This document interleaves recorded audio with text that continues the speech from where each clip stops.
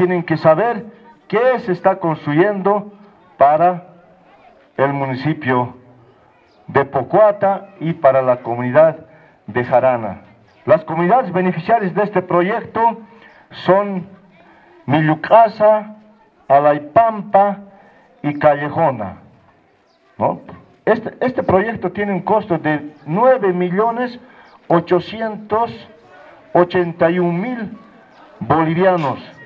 Un proyecto muy importante, decía el alcalde, se ha venido dilatando y saben las autoridades. Sobre este proyecto tuvimos una reunión el año pasado y en esta gestión también.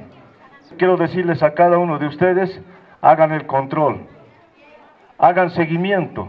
Cuando hacen seguimiento y tienen dificultades, se subsanan oportunamente. Los recursos estén bien invertidos, sea un proyecto productivo, para que mañana pasado tengamos garantizado la seguridad alimentaria para nuestras familias beneficiarias y para el pueblo del municipio de Pocuata. En ese entendido, hermano alcalde,